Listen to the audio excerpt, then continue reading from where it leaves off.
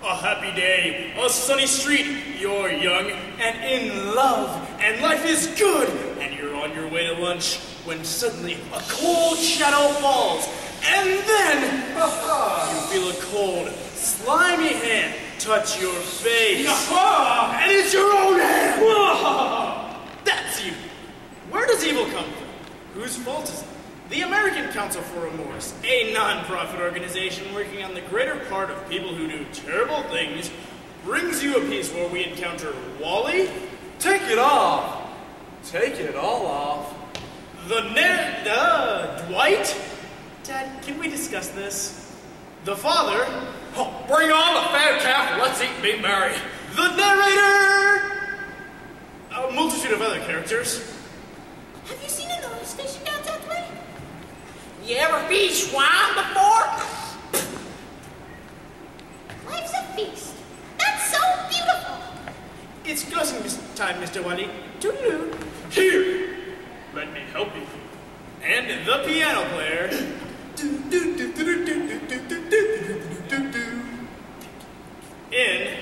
The Prodigal. The prodigal son! Yeah, by Garrison Keillor.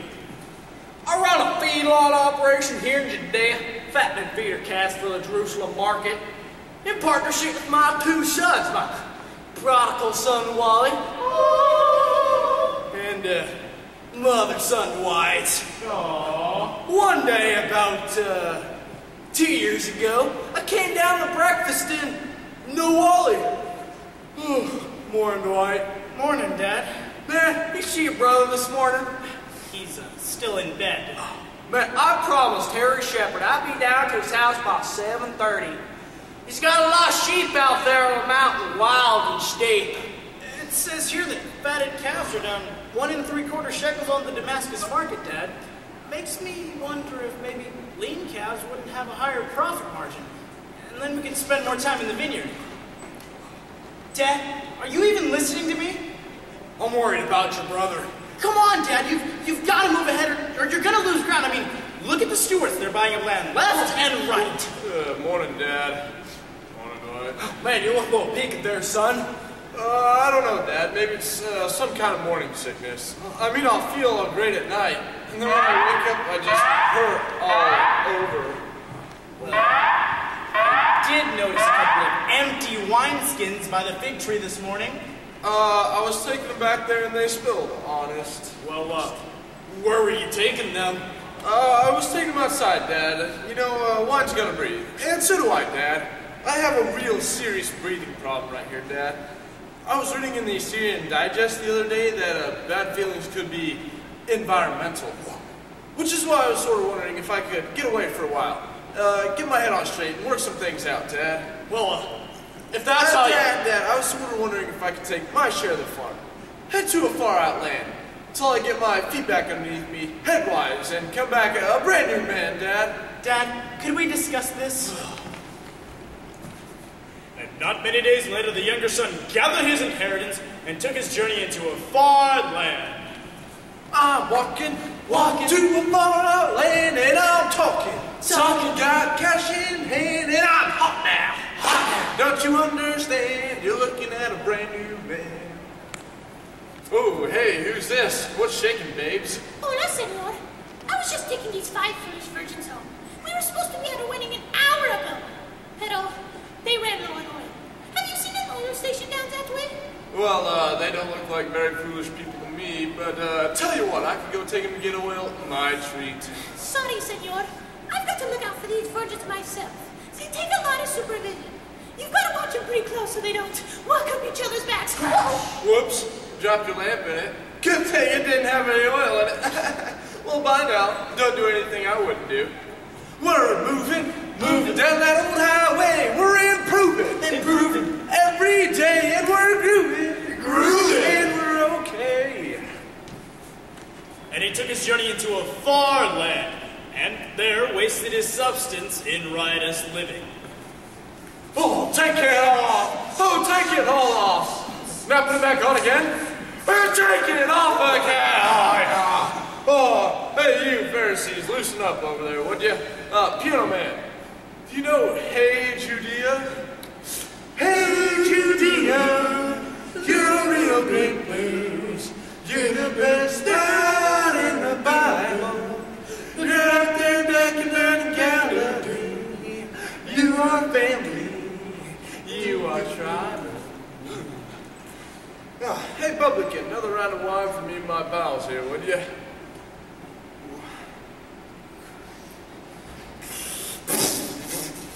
Yuck! What is this, light wine? You don't like it? No!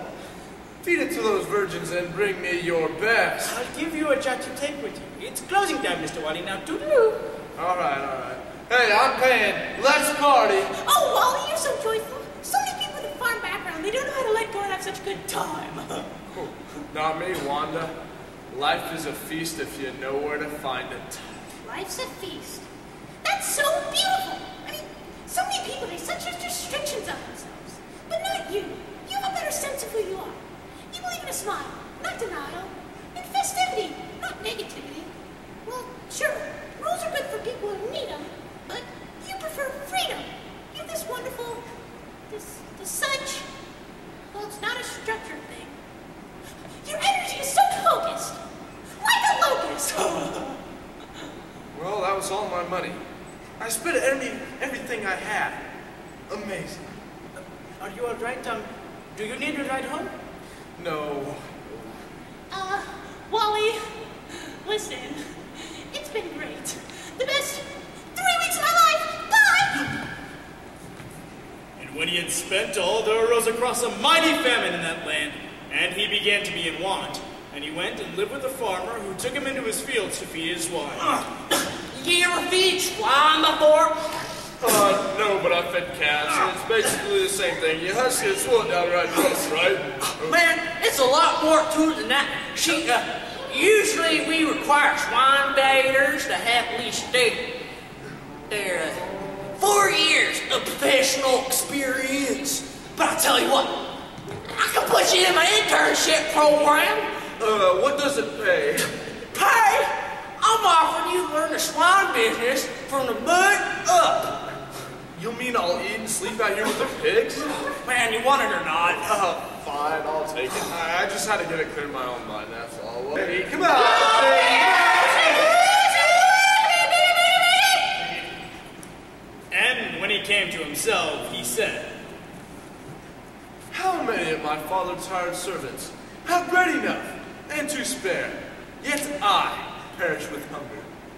Well, I will arise, and I will go to my father, and I will say to him, Father, I have sinned against heaven and against thee, and shall no more be called thy son. Make me as one of your hired servants. No. Ah, that doesn't sound too good. I will arise, and I will go to my father, and I will say to him, Father, it was a great learning experience, and now I'm back, looking for an entry-level position. No. Nah.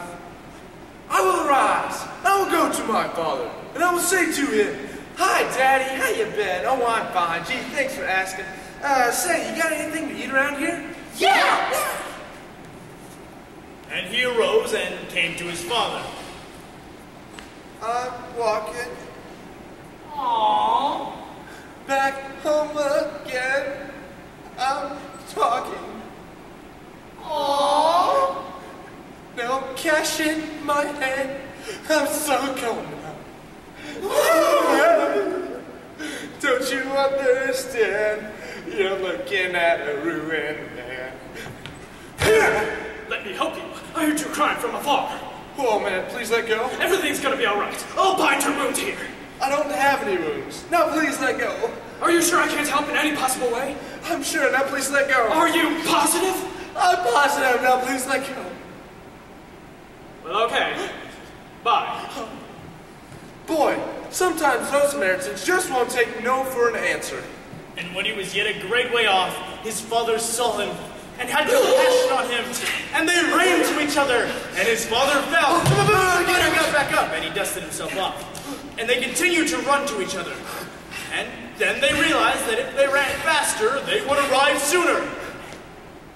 Sooner.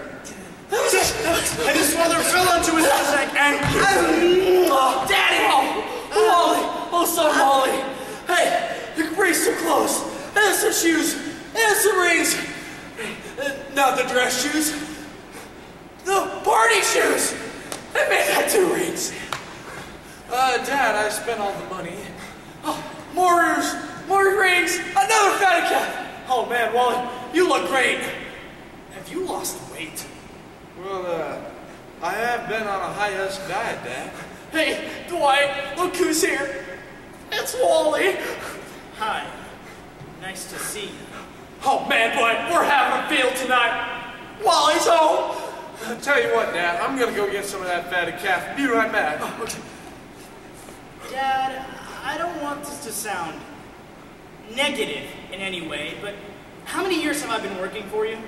All your life? And have I ever disobeyed you, Dad? Never. And have you ever thrown me a big party for me and my friends? Well, no. But the minute you, but the minute this bozo comes hoofing it home, this, this, this loser. But you- your brother was dead. Now he's alive again. He was lost, now he's found. I don't think you're hearing what I'm saying, Dad. Never ran up to me and hugged me. I would just like to point that out. I guess I'm not a hugger. Oh, Dad, I brought some of my friends back. Uh, I hope you don't mind, but, uh, hey, you want some of this fatty Oh! Fatty calf? Mm. Oh, it sure says some good fatty calf, Dad. Oh, Delicious. oh it sure does beat us, you know. Mm. Oh, this fat won't keep you, no, Dad. Mm. Hey, you want some more of the, you want some more of this fatty calf? Ever stop to think who fatted that calf, Wally? That was our best calf, Dad. The best one. Try to think how I feel. I'm hoeing corn all day. I come in bone tired, and there's my brother smelling of pig manure, and they've got the beer on ice and my calf on the barbecue. My calf and my ring. Oh, my ring on his hand. You promised it to me, Dad, but oh no! Can't give it to the son who's worked his tail off for 30 years. Gotta give it to the weasel who comes dragging his butt through the door. Great, Dad. Wonderful. Terrific. Maybe I'll go sleep with the pig, seeing as you go for that. See you later, Wally. Take the rest of my stuff. Clothes, jewels, shekels, just take whatever you want. Take my room. Don't worry about me. I'll be in the pig pen. The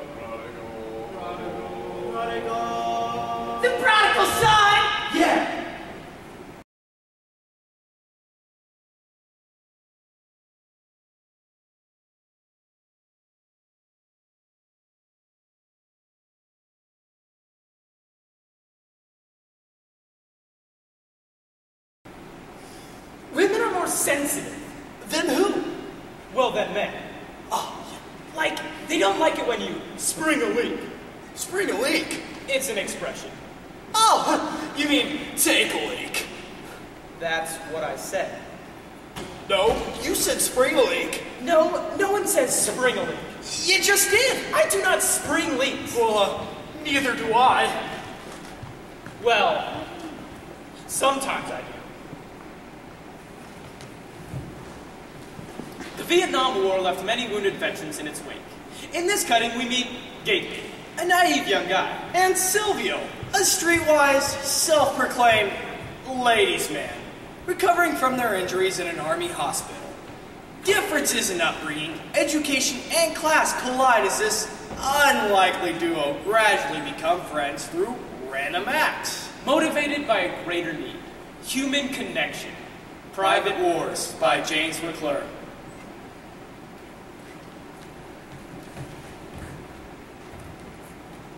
Hello, Gately. Hello, Silvio. Oh, would you look at that? Would you look at that nurse over there? Hey, gorgeous. Hey, beautiful. Ta-da! My sister bought me these. Oh, very nice. It's good material. Care for a feel? Uh, not right now, no. I don't know. I'm a floppy underwear kind of guy. It gives you more of a sense of freedom. One has mobility. You can go on TV and advertise floppy underwear. I could if I wanted to, you know? Ain't got the time though, you know? I could if I wanted to. Because if you think about it, there's really only one drawback to floppy underwear. And what's that? It makes you feel like an old man. That's the trouble in life, Gately. You find something you like in life, but if it makes you feel like an old man, well, what's the point? You know what else makes you feel like an old man? An old woman? Garters. You're right. You're darn right I'm right. I wear garters to my brother's wedding. Well, didn't make it feel like an old man? You're darn right it did. Besides, the garters didn't even work. Well, uh, what kind of socks were you wearing? Athletic socks. You wore athletic socks to your brother's wedding. You see, Gately, I'm Catholic. Oh, did the Pope make you do it? Don't get cute with me, Gately. It was his second. First time around, I wore regular black socks. But the second marriage, I figured what the heck. Now I'd like to return for a moment to the subject of underwear. All right. Now, floppy versus tight. For me, there's really no comparison because what's a guy looking for in underwear? Fashion? Certainly fashion. I mean, you're with a chick, right? You don't want her taking off your pants and have her laugh at your underwear, right? Uh, well, she might if you're wearing flocky underwear. Uh, that's why you have to get a good pattern. Take a look at these. Are these smart or what? Those are pretty smart. My sister bought me these. Your sister has good taste in men's underwear. Of course. It kind of makes you wonder, though. What? Just how did your sister get such good taste in men's underwear? Hey, what are you saying, buddy? Just say. Listen, the way I see it, a guy needs fashion and a guy needs freedom. Other than that, there's really nothing else a guy needs. Snugness? Uh-oh. Do I sense the voice of a tight underwear man here? Well, a guy doesn't always want floppy underwear. Now, wait a minute. Underwear are like socks. Stop. I don't think I can let this go by. Look, a guy doesn't want his socks slipping down. Man wants snug socks. Snug socks. Socks are like underwear. What kind are you wearing? Black ones. Are they tight? Oh yeah, they're pretty tight. They're not black silk, are they? Uh, black polyester, but mine has holes in them. Well, of course they have holes in them. It's a modern convenience. I got holes on the balls. Holes on the balls? Holes on the balls. I gotta get some new ones. I would guess so. You know, I also kind of have this problem here. My left is bigger than my right. Well, how much of a difference could there be? Uh, about an inch. My left's about nine inches long. What? My right's about ten. Nine and ten inches? No. I really need to get some new socks. You were talking about your socks. That's good for your socks. You might want to get some new socks. What? I don't want to talk about it. Gately, I've been thinking of buying a kilt. A kilt? Yeah! It's a kind of dress that Scottish people wear. It's kind of like a cheerleader skirt. Well, if you want to wear a cheerleader skirt, why don't you go out and get one? I don't want to wear a cheerleader skirt. What would I do with a cheerleader skirt? I don't know. Hey, wait a minute! You think I want to wear a girl's dress? Is that what you think? Look, I don't care. Look, I don't care, then you don't care. Who cares? Not me. Look, I don't want to wear a dress, okay? Okay. I want to wear a kilt. So I said to myself, what do Scottish people have that I don't have? Kilts? Oh, hey, gorgeous. Hey, beautiful.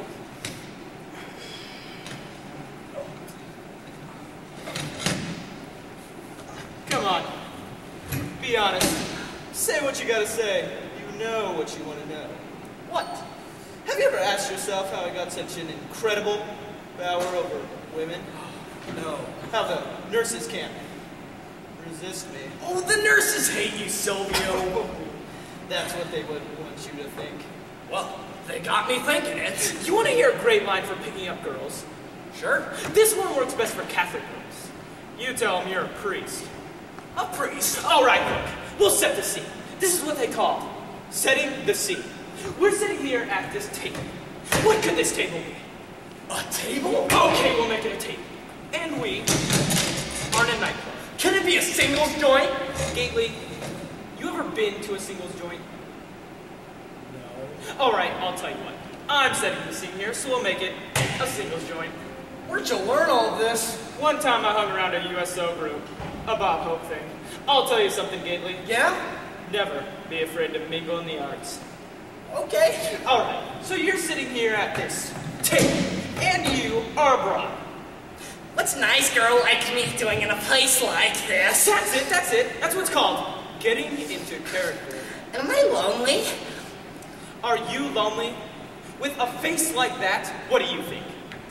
I'm lonely, huh? That's right. You're like ugly girls all over the world. You're like a different breed. You sit there being ugly, ruining life for everybody else. Are you lonely? Gately, I'm a priest. Of course I'm lonely. I'm one of the loneliest men on the face of the earth. All right. So you are sitting here ugly and lonely. I come in. I come over. Hey, look, a priest! What are you doing? I was, uh, saying hello. Gately, you don't know I'm a priest. But don't you got your priest shirt on? No, I'm being casual. You don't got your, your, your thing on? My thing? Your, your, your, your collar thing? No. Aren't you being mysterious? Very. Aren't you being, like, scary? Gately, I don't want to scare you. Oh, like Dracula! Gately, you don't listen to me anymore. That worries me. Look, we will do it for a second time. You are sitting there ugly and lonely. I come in. I'm looking around, checking things out. You don't see me yet, Gately. I see you. I come over and I say, Pardon me, miss. Is this seat taken? Uh, why, yes, it is. What? Buzz off! What are you doing? Do you want me to call the management? That's not how this goes. Milk child, Miss Pig! Gately! What? Quit giving me such a hard time, okay? I was just being realistic. You're being too realistic. Look, we will do it for a third time. You, ugly, lonely. I come in. I'm looking around, checking things out. You don't see me yet, Gately. I see you. I come over and I say, Pardon me, miss. Is this seat taken? Well, why not? Mind if I sit down? Sure. Mind if I order you a drink? Well, why not? Bartender, two of the same. I hope you won't think I'm being too personal, but what's your name? Woodruff Gately. Woodruff? Woodruff. I've never known women to be named Woodruff before. Well, you've never known a woman like me. I hope you won't think I'm being too nervous, but have you ever been to a place like this? I'm Baptist. You must be very lonely. Why? Because I'm Baptist? May I tell you something very personal? Sure, but don't get smutty. I don't get a chance to meet beautiful women such as yourself too often. You see, actually, I'm a priest. Oh, well, you see, I don't get a chance to meet much men. You see, I like other women. That's it, forget. What? You know what? I try to give you the benefit of my experience. My life! Why on earth would you make her a lesbian? I don't know. A priest can't pick up a woman like that. Nobody could pick up a woman like that. Another woman could? That does me no good, Gately. I can't become a woman every time I want to get a date. I know you can't. You see my point? You can become a transvestite. Oh, what? You wear women's clothes. I don't want to wear women's clothes. You want to wear kilts, That's right. which is uh, nearly Close enough to women's clothes. You know what? This is a big waste of time. From now on, buddy, you're on your own. And I wish you luck. Because at this rate, you may never get a date.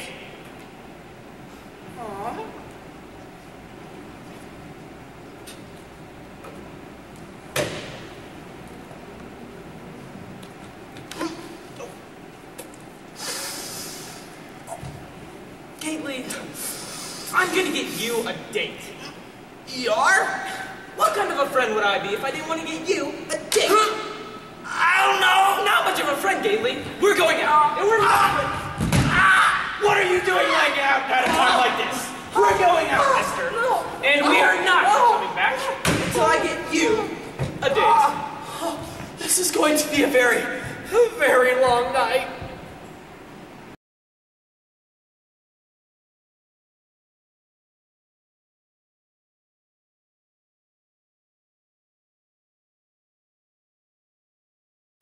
Come fly with me, let's fly, let's fly away. If you could use some exotic booze, there's a bar in far Bombay. Come fly with me, let's fly, let's fly away. If only travel these days could compare to that of the glamorous 1950s, with Pan Am stewardesses smiling, good morning, and a Frank Sinatra song to narrate your journey. Now, travel is no longer a luxury, but rather a huge pain in the tarmac. Let's see how one passenger in particular endures everything from crazy TSA agents to passengers who deserve to be shoved into the overhead compartment. Will this traveler's experience crash and burn? Buckle up and prepare for turbulence as we witness this poor woman try to catch Flight 212 to LA by Darcy Robb. Hi, checking in for Flight 212 to Los Angeles, please. 112 leaves in 30 minutes. You'll have to use the special express line. But, but I'm on 212. In which case, you're overzealously early. License, boarding pass, and most, and most recent blood sample. Police. Blood sample? Wait, what nationality are you? Oh, okay, never mind. Checking any bags today. Just to carry on. Please ensure that your carry-on will fit into the allotted overhead luggage compartment and be prepared to lift it into and remove it from said compartment entirely by yourself. You're all set. We appreciate your business. Yes, I can tell. Boy, eh, things must have been so different back in the old days, when everything was all Pan Am and movie stars. License boarding pass, and would you please recite your social security number? Backwards. Excuse me? Ha ha ha! TSA humor. We like to keep things light around here. Right, because your job calls for a lot of them joking around. Okay, shoes off, belt off, please remove any necklaces, bracelets, earrings, rings, bell rings, nose rings, tongue rings, or any other metal or ring-like material that may interfere with our scanners. I'm not wearing any jewelry. Oh. Has anyone attempted to give you something to bring onto this flight today? No. Has your luggage been left unattended or unseen since you last packed it? No. Are you single? And if so, do you find me attractive? Excuse me? Ha ha ha! Got Gotcha again. Okay, last things last. Time for a little S, and S. What? What on earth is S, S, and, and S? Stick out the arms, spread the legs, and stand still. You've been randomly selected for a passenger body search. Oh, oh, lucky me. Nice leg muscles. Abs need a little bit of work though. Excuse me? Haha, just kidding, are great too. And hey, congratulations. You're officially weapon and contraband free.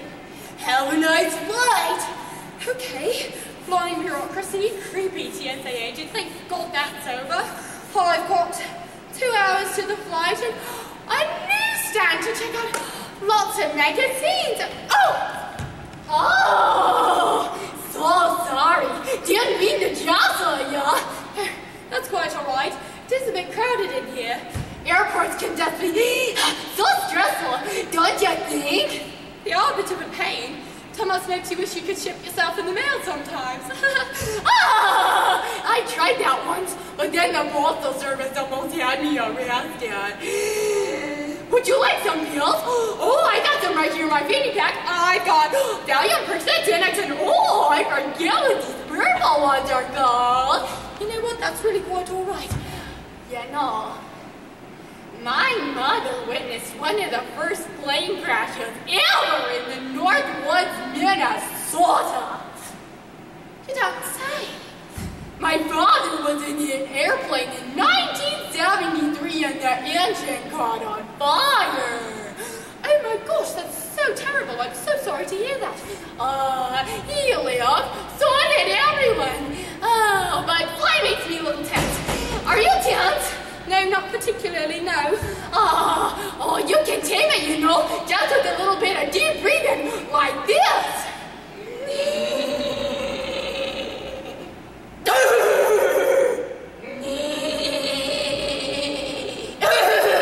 Are you okay? Ah, deep breathing's not working today. Can I like, oh, you're afraid of the germs, aren't you? That's okay. I got some Purell right here in my mini. You know what? I think I my blood being cold. Let's you met you. Walk way fast, walk way fast. Head up the side, head up the side. Oh, the universe is sending me a sign. I, I just need to catch the tram, find my gaze, and then be nice and anti-social until I get to Los Angeles. Oh, good. The tram. Listen, I don't care if he's busy, miss, whoever you are. I need you to get him out of that meeting. Stat! Excuse me? Morty! Morty! We got a mother throats, Marty! Mother throats! I'm telling you, this deal needs to go down now! Excuse me? Sir? We're gonna make history here, Martin. I don't understand why you're hesitating over one environmental regulation law. Listen, I know how to get around the EPA. Excuse me, sir! Hang on, Marty. Yes. We're, we're in a cell phone free zone. Uh-huh. Marty, can you get Chuck on the line? Let's make this a three-way. Sir, I'm sorry to insist, but what you're doing is dangerous. Did you not see the sign? The use of cellular telephones in airport tram can interfere with airline navigation. Yes, yeah, okay, okay, I can read this sign. But here's the deal, sister. This phone call could change my life, your life, and the lives of every single person in this airport. That being said, I think that sign applies to everyone else's phone calls, except for mine. Chuck! Chuck! Yeah, yeah, guys, I'm getting off the tram, right? Thankfully, so am I. Honestly, are there any more obnoxious weirdos I can meet here today? Excuse me, little missy. You wouldn't happen to know where the flight to Vegas is, would ya? I never should have asked that question out loud. No, I'm sorry. I don't know where the flight to Las Vegas is. I'm on the 212 to Los Angeles. That Marilyn Monroe lives out there in L.A., don't she? Me and her doing a picture together. That's, that's great. So, how long have you been doing impersonations? I mean, your outfit is actually really, really great. It must be fun being the fat Elvis. Oh, I'm skinny Elvis. I just have no like wearing these steady jumpsuits. Right, well, I don't mean to bother you like some hound dog. Aha, aha, but there's my gate. Have fun in Vegas with Marilyn. Thank you very much. Everyone at this gate is potentially dangerous. I mean, any one of them could subject me to the random insanity on the plane. For three whole hours. With nowhere to run. I could hide in Lady Snoop. No. No. It's actually kind of strange. I mean, everyone here is actually acting normal. I mean, so quiet. I, I can actually hear someone. I can hear someone breathing. no! Yes, yes, I thought that was you. And I said to myself, oh, there's that sweet little young thing that didn't want any of my pills at the newsstand. Are you going to Los Angeles? I bet you are. I know we're on the same flight. Oh, we could be seatmates. You can help me with my oxygen mask. Attention, Flight 212 passengers. Your flight is overbooked. I repeat, your flight is overbooked. If there is anyone here willing to give up their seat today, me! Me! For the love of God, please take me! Well, hey, hey, Heidi, ho there. Look who it is. Say, if you're not going on the 212, we should do something fun later. You know, that, that just sounds really great, but my sister, she, she just texted me and she's having a baby right now. So I'm sorry, but I've got to take this flight. Oh, bummer. Well, if you need any of my super secret special skills, you just let me know, okay? By any chance, would you happen to have any any earplugs? Oh, I've got noise canceling headphones. Does that work? That works. Thank you. So, so, why Did they say, could you get our seats together? You know, I completely forgot to ask, but you'll have to excuse me for the next three hours. I've got my noise cancelling therapy session. Ah, yes. Three more hours.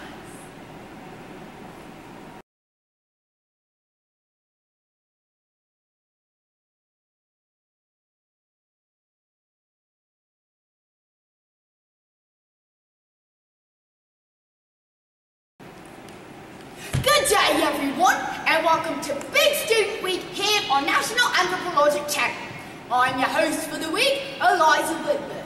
Now, you'll remember that yesterday we had a really up-close documentary on Athleticorus idiotimus. But you better know these big fellas as the blockhead jock. Today, we're going to take a look at another one of high school's social extremities, Dictymus dramaticus. The theater nerd. Like many high school cliques, the theater community is full of stereotypes, some true and others false. In today's episode of Big Student Week, The Theater Nerd, we will first venture through the wardrobe jungle and experience the different appearances that the Dictymus dramaticus has. Next, we will pop on over to the urban watering hole and experience the different hangout habitats of the theater nerd. And finally, we will safari across the performance planes to see the different behavioral traits of the Dictymus dramaticus. So pack up your scripts, don your berets, and let's get started. Now, the wardrobe jungle is where you'll be able to witness three Dictymus dramaticon, all in very different yet common appearances.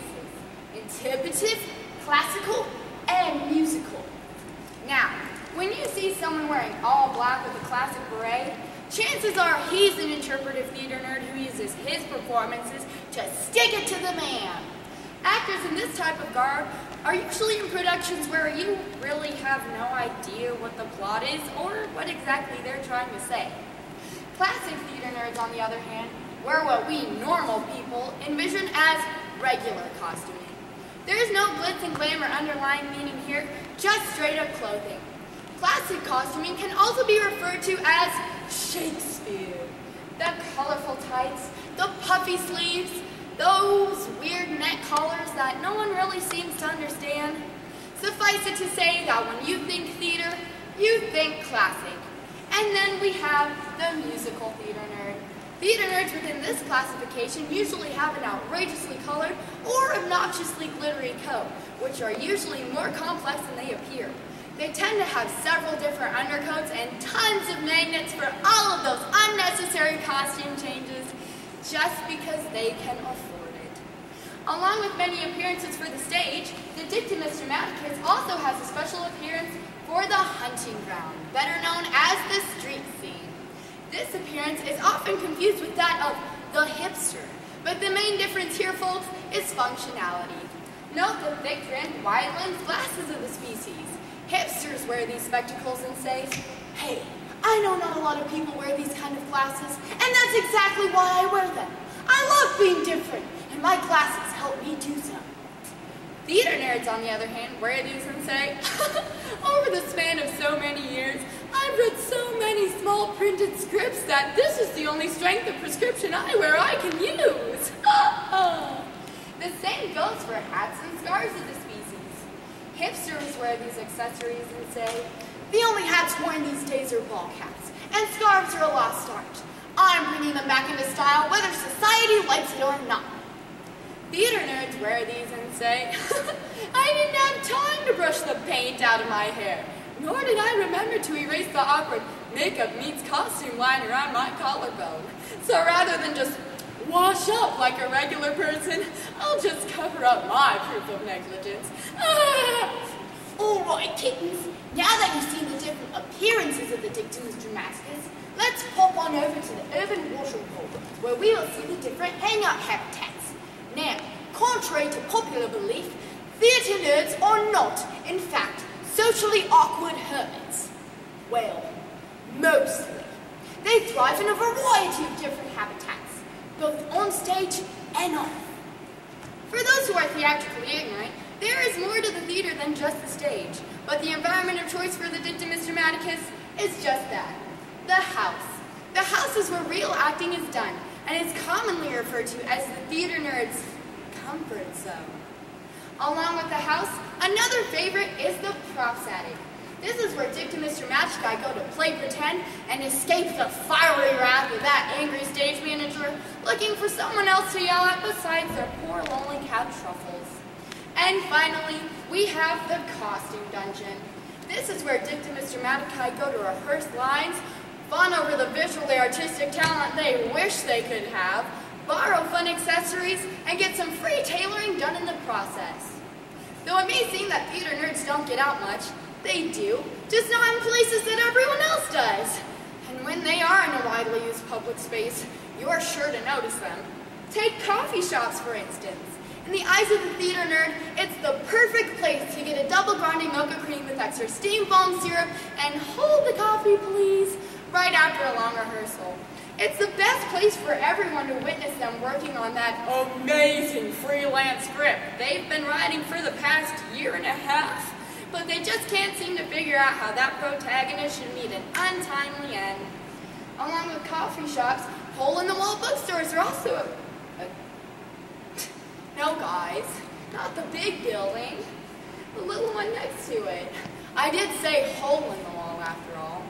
Anyway, these little shops are the best place for theater nerds to meet other Dictum Mr. Guy who love spending 20 whole minutes contemplating a possible script just to come to the conclusion that it doesn't have the right emotion that I'm looking for. And finally, where else would theater nerds get their fun, hip clothing besides indie books, boutique stores? Little do most people know that these hip, lofty spaces can only be accessed via creepy, dim-lit stairwell. That doesn't stop those theater nerds, though. All right, everyone, we're going to round off our tour over on the performance planes. This is where you'll be able to see the different behaviors of the dictimus dramaticon, both verbally and non-verbally. Let's shed some light on the subject, shall we? Not many people are aware of this, but the theater community has a vocabulary entirely its own. For most people, it's hard to learn, but if you follow along with me today, you might just get the hang of it. Are you ready? Here we go. In is down, down is front, out is up, up is back, off is out, on is in, right is left, and left is right. Got it? Great. Now that you know the verbal side of communication, let's move on to nonverbal. In theater, nonverbal communication is a must, especially for stage managers. They have several different actions that they use to communicate with their actors on stage, including the bat ears, which is usually used to say, speak up, honey, we can't quite hear you. Second, we have the hyperventilating chipmunk, which is usually used to say, speed up a bit, toots, or keep pushing through, slugger. Third, we have the elbowing a fat man on an airplane, which is usually used to say, scooch over a bit, Snookums, you're being blocked, and not in the good way.